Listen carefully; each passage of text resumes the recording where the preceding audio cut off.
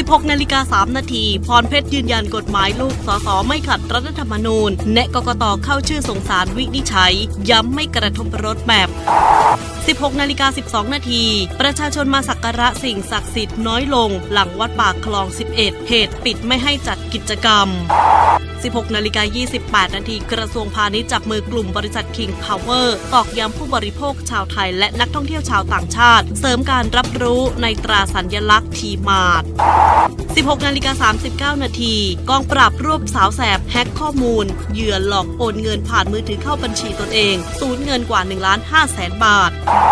ล่าสุด 16 นาฬิกา 47 นาที ศูนย์วิจัยกสิกรไทยคาดประชุมเฟด20-21 มีนาคม ปรับขึ้นดอกเบี้ยนโยบายอีกร้อยละ 0.25 ชี้ไม่มีน้ำหนักมากพอที่จะทำให้เงินบาทอ่อนค่า